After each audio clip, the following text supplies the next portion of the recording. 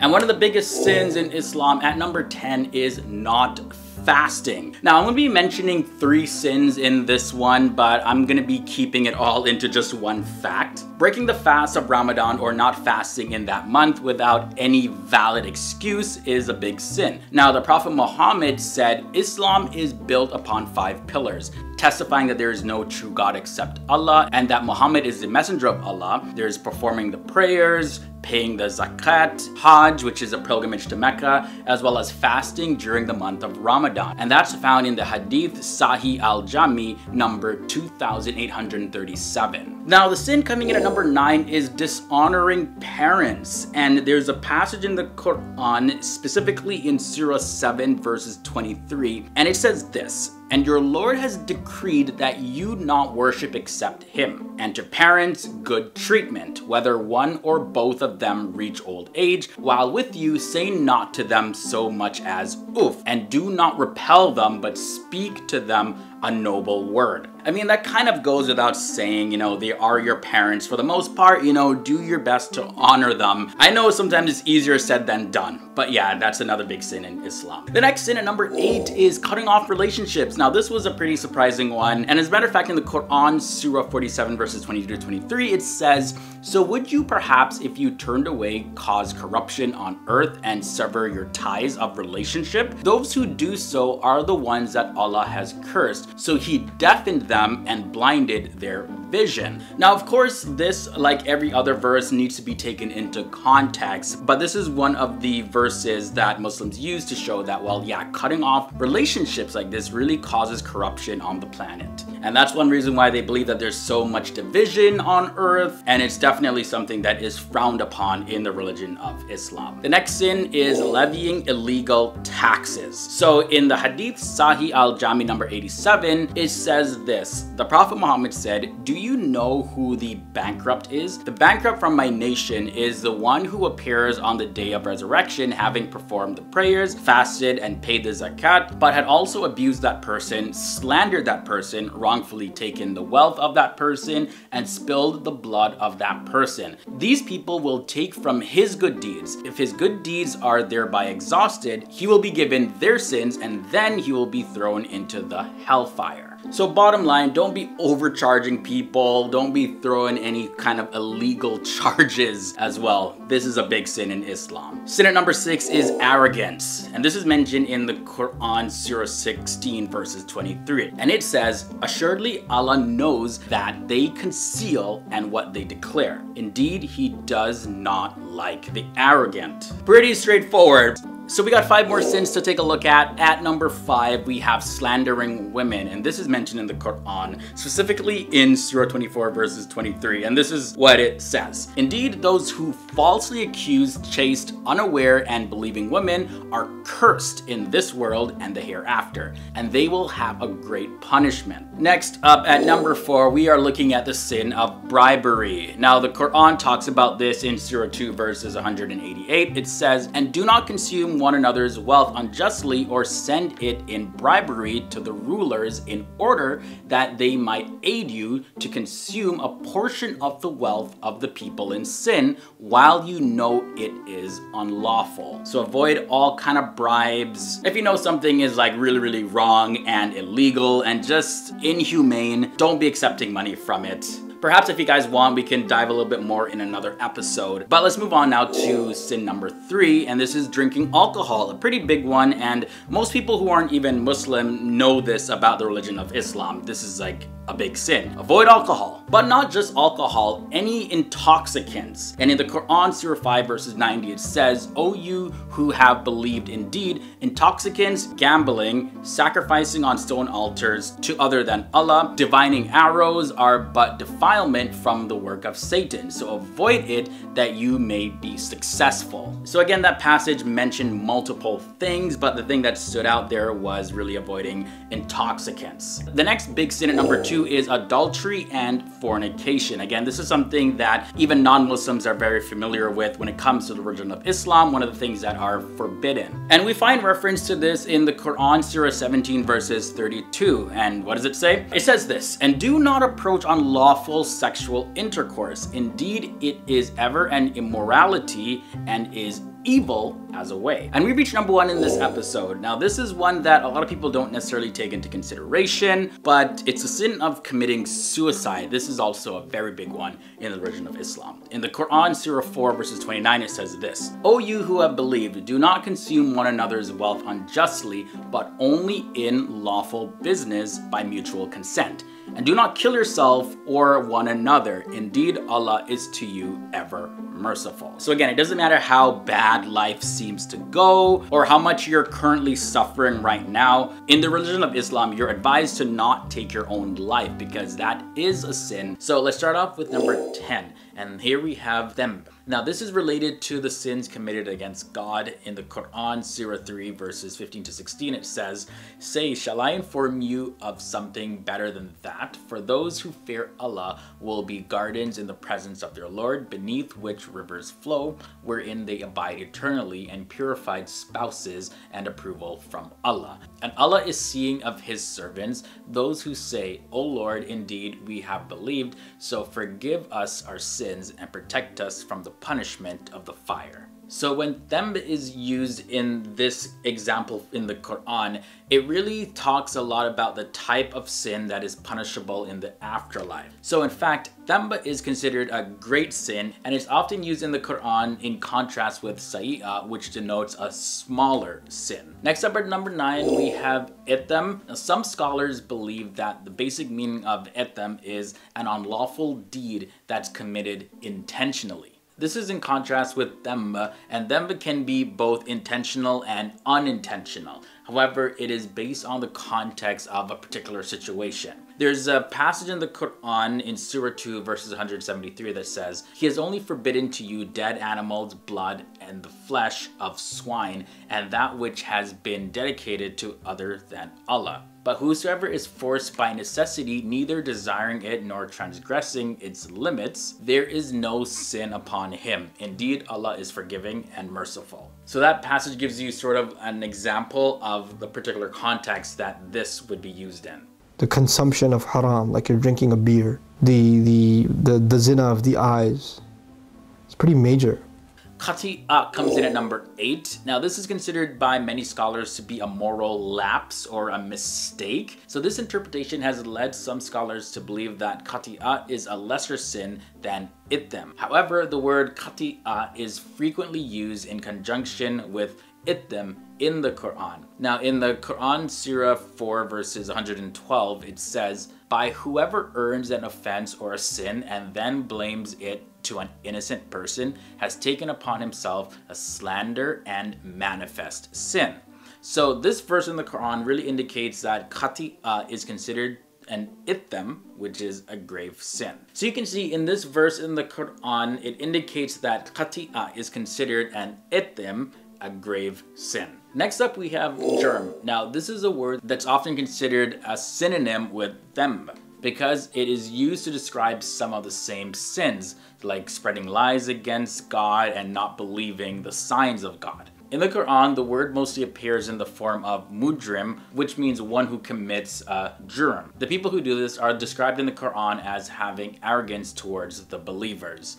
In the Quran, Surah 83 verses 29 to 32, it says, Indeed, those who committed crimes used to laugh at those who believed. And when they passed by them, they would exchange derisive glances. And when they returned to their people, they would return jesting. And when they saw them, they would say, Indeed, those are truly lost. At number six, we have Juna and Haraj. Juna and Haraj have a similar meaning to that of Itham, and it's a sin that warrants a punishment.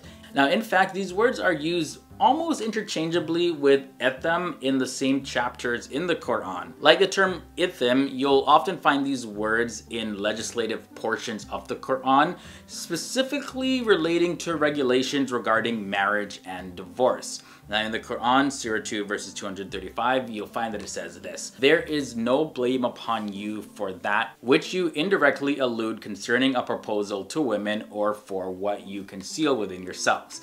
Allah knows that you will have them in mind, but do not promise them secretly except for saying a proper saying. And do not determine to undertake a marriage contract until the decreed period reaches its end. and know that Allah knows what is within yourselves, so beware of Him, and know that Allah is forgiving and forbearing. Number five, we have Al-Kibara. Now, the most heinous sins in Islam are known as Al-Kibara, which translates to great or major one. While every sin is seen as an offense to God, Al-Kibara are the gravest of the offenses, and some of them include shirk, which is associating partners with Allah. Then there is committing murder, and there's also the practice of black magic and leaving daily prayers. And then we have zakat invasion, which is avoiding your obligatory duty to give to charity. But explaining more of the examples from number five, this is where we get more into the specific sins. So let's talk about shirk. Shirk means associating partners with Allah, and this is a very serious prohibition. The Prophet Muhammad was recorded to have said these words, Shall I not tell you of the most serious of the major sins? We said, Of course, O Messenger of Allah. He said, associating anything in worship with Allah. And in the Quran, Surah 4 verses 48, it says, Indeed, Allah does not forgive association with him, but he forgives what is less than that for whom he wills. And he who associates others with Allah have certainly fabricated a tremendous sin associating partners with Allah is the greatest sin in Islam and it's the only sin that Allah subhanahu wa ta'ala promises will never, He will never forgive on the day of judgment. Number three, we have black magic. So there's sorcery, witchcraft, divination, astrology, fortune telling, and all of that is included under the heading of sorcery and black magic. And this is one of the major sins in Islam that can actually condemn somebody to hell. The Quran has this following passage, and they followed instead what the devils had recited during the reign of Solomon. It was not Solomon who disbelieved, but the devils disbelieved, teaching people magic and that which was revealed to the two angels at Babylon, Harut and Marut. But the two angels do not teach anyone unless they say, We are a trial, so do not disbelieve by practicing magic. And yet they learn from them that by which they cause separation between a man and his wife but they do not harm anyone through it except by permission of Allah. And the people learn what harms them and does not benefit them, but the children of Israel certainly knew that whoever purchased the magic would not have the hereafter any share. And wretched is that for which they sold themselves, if they only knew. And that passage is taken from the Quran, Surah 2, verses 102. Then at number 2, this sin is stealing from orphans. So the guardians and the caretakers of orphans should use the property in their trust in a very correct manner and only for the benefit of the orphan. So a caretaker should be very careful not to spend any of the orphan's money because you know this is considered a very serious offense in the religion of Islam. So being responsible for the welfare of an orphan is a great responsibility not to be taken lightly. In the Quran, Surah 4 verses 10 it says, Indeed those who devour the property of orphans unjustly are only consuming into their bellies fire and they will be burned in a blaze. Eating the wealth of the orphan. That orphan is defenseless in your care. You have to protect that orphan and protect his uh, property. And finally, at number one, we have committing murder. Now, this is one of the gravest sins in the religion of Islam. And of course, you know, this is due to the fact that the religion of Islam really embodies a code of ethics that's designed to protect the rights of individuals, including his or her right to live in a secure community. And it was recorded that the Prophet Muhammad had said these words, a man will continue to be sound in his religion so long as he does not shed blood, which it is forbidden to shed. The third thing is murder. And uh, we know that this is condemned again and again in the Quran. So our first thing on the list of harams are eating carrion, blood, or pork meat. The Quran is very clear about which meats are acceptable for consumption and which meats are considered sinful if eaten. It is a commonly known fact that followers of Islam must not eat pork products or meat that is still bloody and has not been thoroughly cooked. It is also forbidden to eat carrion or decaying flesh of dead animals. Any meat that is consumed must also be halal, meaning the meat has been slaughtered and prepared as prescribed by Muslim law. Now, I found it very interesting that the Quran does mention that if one is in a state of starvation and has absolutely no choice but to eat these meats, out of pure desperation and survival that Allah is forgiving and merciful. In Surah 16, Ayah 115, the Holy Quran states that Allah has forbidden you only carrion and blood and the flesh of swine, also any animal over which the name of any other than Allah has been pronounced. But whoever eats of them under compelling necessity, neither desiring it nor exceeding the limit of absolute necessity, surely for such action Allah is much forgiving and most merciful. All right, moving on to talking about the making of statues and pictures. Allah describes himself as the almighty and original creator through titles such as Al-Khaliq, the creator of everything out of nothingness, and Al-Fatir, the bringer into existence, giving every living thing its particular nature, objective, and meaning. Now, there are many hadiths that discuss the sin of producing statues and pictures to imitate human form. These hadiths state that the image makers are cursed, they are called some of the most evil creations. They will be most severely punished on the day of judgment, and they will be punished until they breathe life into their creations. However, they will never be able to do that, and the angels will not enter houses in which there are statues. It is also believed that if a person, or an artist, really wanted to depict or create the essence of a human being by means of either painting or sculpture, he will then have encroached upon the rights and authority that belong to only Allah. And it is believed that those who compete with Allah in creation will receive the greatest punishment on the day of judgment, for that is a blasphemous act. Let's talk about marital relations. So there is some discussion about a wife refusing to engage in marital relations with her husband. On the basis of the following hadith, it is generally understood that if a wife refuses relations with her husband, she will be cursed by the angel. Abu Huraira reports from the Prophet that when a husband calls his wife to bed and she refuses, and as a result the husband spends the night in anger, then angels curse the wife all night until dawn. Bukhari. Interestingly, in Islam, it is believed that a husband and wife protect the chastity of one another by providing one another a legitimate means of satisfying their physical urges. This protection of chastity is essential for the preservation of the family unit. Hence, anything which puts chastity in jeopardy is disliked by the Almighty. However, it's important to mention that the basis of refusal by the husband or wife must also be taken into consideration. For example, if either of them is tired, sick, or simply not in the proper mood and in the appropriate frame of mind, then it certainly does not entail any wrath of the Almighty. It is only when a spouse starts to deliberately evade such natural needs of the other that the attitude becomes questionable. Fact number seven, the sin of spying and eavesdropping on others' private conversations. So according to Islam, it is not permissible to engage in namimah, which is malicious gossip, and spying on private conversations. Namimah is considered a major sin as it involves sharing what others have said in order to cause trouble among them. The definition of namimah is also uncovering secrets and disclosing that which is not appropriate to disclose. Hence, followers of Islam should keep silent and refrain from telling everything that they see of people's situations, unless speaking of it will bring some benefit to a Muslim or to ward off some harm. This can be seen in the Quran, Surah 49, Ayah 12, where it is said, O ye who believe, avoid suspicion as much as possible. For suspicion in some cases is a sin, and spy not on each other behind their backs. Would any of you like to eat the flesh of his dead brother? Nay, ye would abhor it. But fear Allah, for Allah is oft returning most merciful. It is also narrated in Al Sahihain from Abu Huraira that the Prophet said, Beware of suspicion, for suspicion is the falsest of speech. Do not eavesdrop, do not spy on one another, do not envy one another, do not forsake one another, do not hate one another.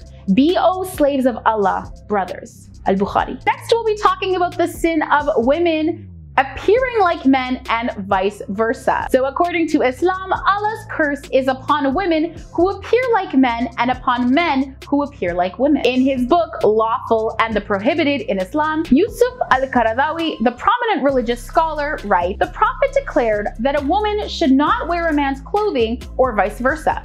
He cursed men who imitate women and women who imitate men. Furthermore, the evil of such conduct, which affects both the life of the individual and that of the society, is that it constitutes a rebellion against the natural order of things. According to this natural order, there are men and there are women, and each of the two sexes has its own distinctive characteristics. However, if men become effeminate and women masculinized, this natural order will be reversed and will disintegrate. It is believed that among those who are cursed by Allah and his angels, both in this world and in the hereafter, the Prophet has mentioned that a man whom Allah has created as male, but who becomes effeminate by imitating women, and a woman whom Allah has created as female, but who becomes masculinized by imitating men. For this reason, the Prophet forbade men from wearing clothes or things pertaining to women. Fact number five brings us to talk about the sin of ending your own life. Now, as is common in many religions, ending one's own life is seen as a great sin. Allah does not permit his believers to intentionally end their own lives in any way. This can be seen through verses of the Holy Quran and Hadith. In Surah 6, Ayah 151, Allah says, And do not kill the soul which Allah has forbidden to be killed, except by legal right. This He has instructed you that you may use reason. In Surah 4, Ayah 29, Allah says, Nor kill yourselves, for verily Allah has been to you most merciful. If any do that in rancor and injustice, soon we shall cast them into the fire, and it is easy for Allah to do so. So essentially, Islam advises that life does not belong to us like property. Rather, it is granted to every human being as a trust. Neither is it allowable for a person to take another human's life without justification, nor is it permissible for one in Islam to destroy their own existence.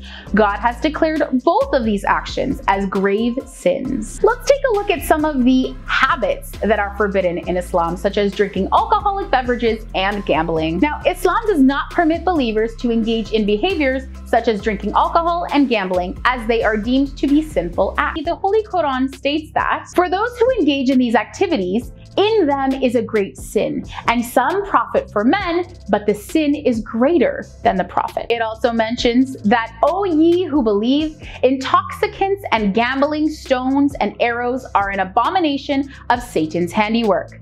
Abstain such that you may prosper. Satan's plan is to excite hatred between you with intoxicants and gambling and to hinder you from the remembrance of Allah and from prayer will you not then abstain?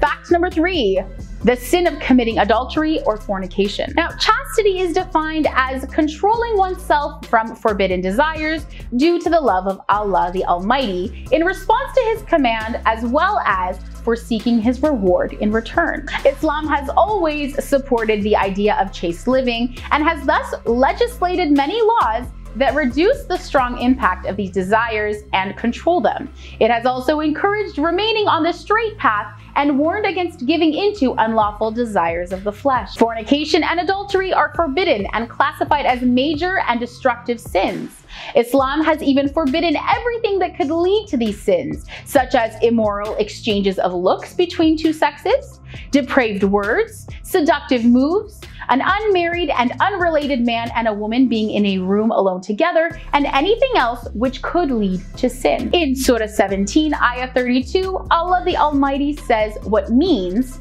and come not near to unlawful sex. Verily, it is a great sin and an evil way that leads to hell unless forgiven by Allah. This opens the road for other evils. When a man commits adultery, faith comes out of his heart and hovers above him until he leaves the sin. Then faith comes back to him again. All right, let's talk a little bit about the sin of not performing prayer. So, salat or prayer, is the most important practice in Islam because it is daily worship. Since the Arabic word salat is rooted in the word silat, which means connection or contact, the best translation for salat is contact prayer. Like other religious duties, the contact prayers are a gift from God. It is believed that souls need nourishment just like the body needs nourishment from food. Without nourishment, souls will not grow and develop. It is believed that the five contact prayers are like meals for the soul. They are spread throughout the day, like meals for the body, and consist of dawn, noon, afternoon, sunset, and nighttime prayer. Those who do not develop their soul cannot be close to God because they will not be able to stand His immense energy. Thus, they will end up astray away from God. Now, there are several passages in the Quran that address the importance of daily prayer. In Surah 19, Ayah 59, the Quran mentions that then there has succeeded them a posterity who has given up prayers and followed lusts. So they will be thrown in hell except those who repent. And bringing us down to our fact number one, an action of sin is not fasting on a day of Ramadan without proper excuse. Fasting during Ramadan is one of the pillars of Islam, and it is not permissible for a Muslim to fail to fast it except without a reasonable excuse. Whoever fails to fast during Ramadan or breaks the fast during this time for legitimate excuse such as sickness, travel, or pregnancy is required to make up the days that they did not fast. As for one who does not fast the month of Ramadan deliberately out of heedlessness, even if that is just one day of the month in the sense of that he does not intend to fast it at all, or he breaks the fast after having started to fast with no excuse, he has committed a major sin and must repent. Surah 2, Ayah 183 mentions, O you who have believed, decreed upon you is fasting, as it was decreed upon those before you that you may become righteous. With the above verse, the Holy Quran makes it very clear that fasting was ordained compulsory on all Muslims and that they have to fast if they are to stay righteous.